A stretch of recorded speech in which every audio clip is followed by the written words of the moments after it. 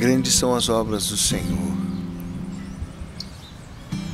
A palavra enaltece, a palavra reconhece, a palavra destaca, a palavra observa, a palavra faz referência. Grandes são as obras do Senhor.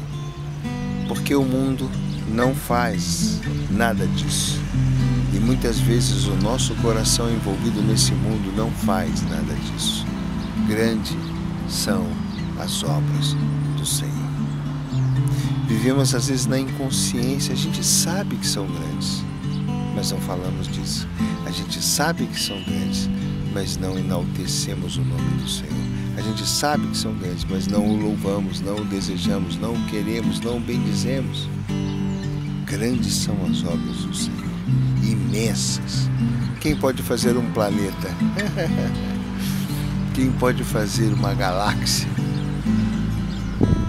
Quem pode fazer as profundezas, o microcosmos? Grandes são as obras. Somos muito pequenos, Senhor. Imagino a glória de Deus, a presença de Deus na eternidade, as maravilhas que veremos. Oh, meu Senhor, ajude-nos a chegar até a tua casa e permanecer contigo. Essa será a nossa verdadeira alegria. Inexplicável alegria. Desconhecida alegria de tão grande que será. Amém. Glória ao Pai, ao Filho e ao Espírito Santo, como era no princípio, agora e sempre.